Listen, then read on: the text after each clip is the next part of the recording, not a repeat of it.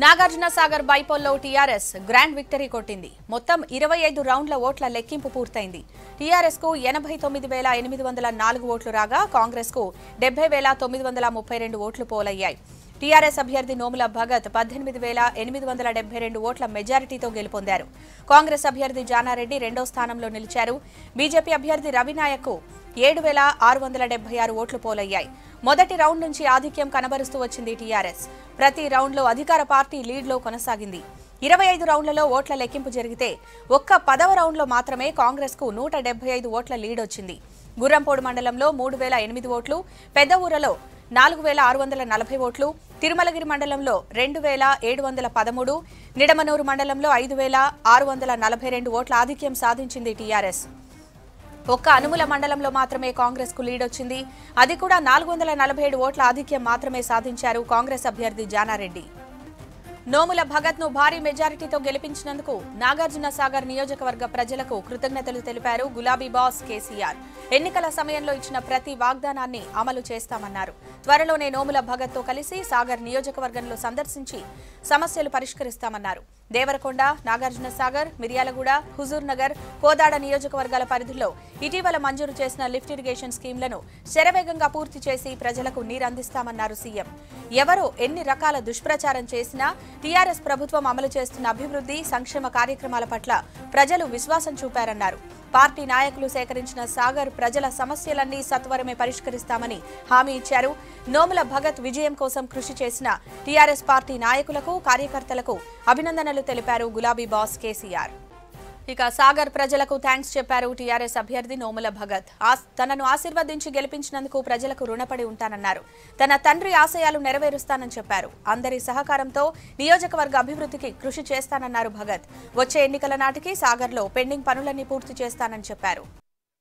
మా నాన్నగారు చనిపోయిన తర్వాత ఖచ్చితంగా ఆయన ఆశయాలు ముందు తీసుకెళ్తా అని చెప్పేసి ఈరోజు నన్ను ఆశీర్వదించి ముందుకు పంపించినటువంటి గౌరవనీయ ముఖ్యమంత్రి కేసీఆర్ గారికి అలాగే నన్ను ఖచ్చితంగా ఈ నియోజకవర్గాన్ని మా నాన్నగారు ఏ ఆశయంతో అయితే ఈ నియోజకవర్గాన్ని ఆ రోజు గెలిచిన తర్వాత ముందుకు నడిపిస్తున్నాడో అట్లా ఖచ్చితంగా నడిపిస్తానన్న నమ్మకాన్ని ఆపయించినందుకు నాగార్జున సాగర్ ఓటర్ మహాశయులందరికీ కూడా పేరు పేరున మరొకసారి నా ధన్యవాదాలు తెలియజేస్తూ ఖచ్చితంగా మా నాన్నగారు ఏ ఆశయంతో అయితే గెలిచిన తర్వాత మీ అందరికీ మీ అందరికీ తోడ్పాటుగా ఉంటూ సహకారంతో మీ మధ్యలోనే ఉంటూ ఏ విధంగా అయితే నియోజకవర్గం అభివృద్ధి కోసం కృషి చేసిరో ఆ రకంగా తప్పకుండా మీ అందరికీ అందుబాటులో ఉంటూ కృషి చేసి ఖచ్చితంగా ముఖ్యమంత్రి గౌరవనీయులు కేసీఆర్ గారి సహాయ సహకారాలతోటి ఈ నియోజకవర్గాన్ని అలాగే మన మంత్రివర్యులు జగదీశ్వర్ రెడ్డి గారి అండతోటి ఖచ్చితంగా అభివృద్ధి చేస్తా అని మరొకసారి మీ అందరికీ విన్నవించుకుంటున్నాను. ఈ విజయం కేసీఆర్ గారిదండి.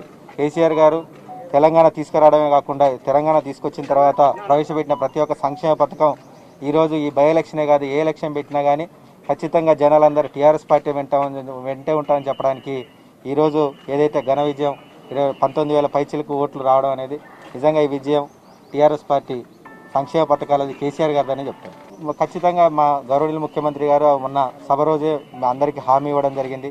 వచ్చే ఎలక్షన్ ఖచ్చితంగా అది లిఫ్ట్ పూర్తి చేయకుండా మళ్ళీ ఓట్లు అడగమని చెప్పేసి ఆ రోజే హామీ ఇవ్వడం జరిగింది. దానికి అనుగుణంగానే దేవుడి అండతోటి ఖచ్చితంగా మేము వచ్చే ఎలక్షన్ లోపు ఖచ్చితంగా అన్ని ప్రాజెక్టులు పూర్తి చేస్తానని అనుకుంటున్నాం. సాగర్ ప్రజలు టీఆర్ఎస్ పార్టీపై నమ్మకం ఉంచారన్నారు మంత్రి జగదీష్ రెడ్డి. ప్రజలకు ఇచ్చిన హామీలను అమలు చేస్తామన్నారు. ప్రతిపక్షాలను ప్రజలు అసహించుకుంటున్నారని చెప్పారు. కాంగ్రెస్ పని ఖతమేనని కాంగ్రెస్ ఇక గతమేనన్నారు టీఆర్ఎస్ నేతలు.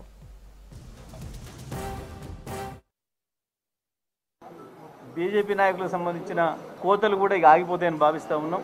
చిన్న అవకాశంతోనే ఎగిరెగిరి పడి మిడిసిపడి మాట్లాడితే ప్రజలు ఎట్లా బుద్ధి చెప్తారనే దానికి ఎన్నిక ఉదాహరణ. మరి జిల్లా కాంగ్రెస్ నాయకులు కావచ్చు రాష్ట్ర బీజేపీ నాయకులు కావచ్చు.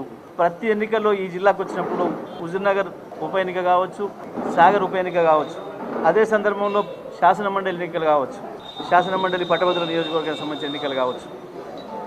ఈ ఎన్నికల్లో వాళ్ళు మాట్లాడిన తీరు వాళ్ళు వ్యవహరించిన తీరు వాళ్ళు మా పార్టీ పట్ల కేసీఆర్ గారి పట్ల కేసీఆర్ కుటుంబం పట్ల వారు ఉపయోగించిన భాష వీటన్నిటిని కూడా ప్రజలు ఎట్లా అసహించుకుంటున్నారో స్పష్టంగా చెప్పాను. ఒక చారిత్రాత్మకమైన విజయాన్ని టీఆర్ఎస్ మూట మూటగట్టుకుంది ఈరోజు ఒకవైపున కాంగ్రెస్ రెండవ వైపున బీజేపీ టీఆర్ఎస్ పార్టీ మీద నీలాప నిందలను వేస్తే ప్రజల ముందుకు వచ్చి గత ఏడున్నర సంవత్సరాలుగా టీఆర్ఎస్ పార్టీ ఏమి చేసింది నియోజకవర్గానికి సంబంధించింది ఏమి చేస్తుంది అనేది టీఆర్ఎస్ పార్టీ రాష్ట్ర అధ్యక్షులు గౌరవ ముఖ్యమంత్రి వర్యులు కె. చంద్రశేఖరరావు గారు విపులీకరించి ప్రజల ముందు చెప్పడం జరిగింది. ఇవాళ రెండు వేల పద్నాలుగు నుండి ఇప్పుడే జరుగుతున్న ప్రతి ఎన్నికలో కూడా దరిదాపుగా తొంభై నుండి తొంభై ఐదు శాతం విజయాలు మాత్రమే అందుకున్నాం.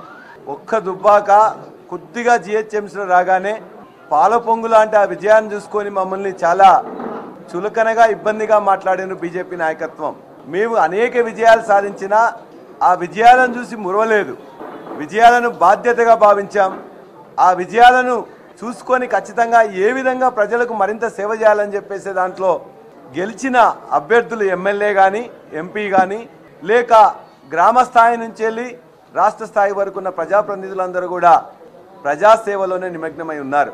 నాగార్జున సాగర్లో ఏడు సార్లు గెలిచి ఆ నియోజకవర్గానికి నీళ్ళు దేక మంచినీళ్ళు కానీ సాగునీళ్ళు కానీ తేలేక చతికెలబడ్డ జానారెడ్డి మరలా వచ్చి నాకు ఇది చివరి అవకాశం అని చెప్పినా కూడా ప్రజలు ఇంతకుముందే మీకు చివరి అవకాశం అని చెప్పినా కూడా మేము ఇవ్వలేదు.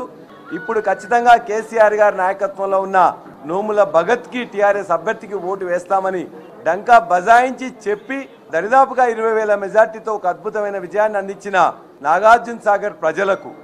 వారందరికీ కూడా టీఆర్ఎస్ పార్టీ తరఫున మరొక్కసారి వారందరికీ అభినందనలు కృతజ్ఞతలు కూడా తెలియజేస్తున్నాం.